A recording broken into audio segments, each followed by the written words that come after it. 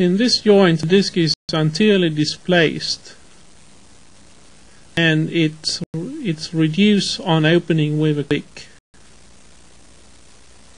These joints demonstrate reciprocal clicking, which uh, implies clicking during opening followed by clicking during closing.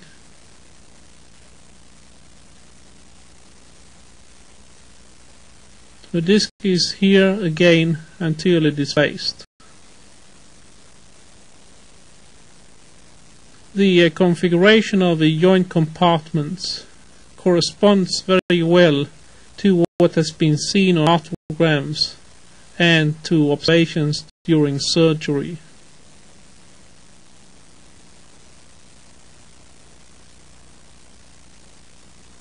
Reciprocal clicking is a clinical sign of anterior disc displacement with reduction.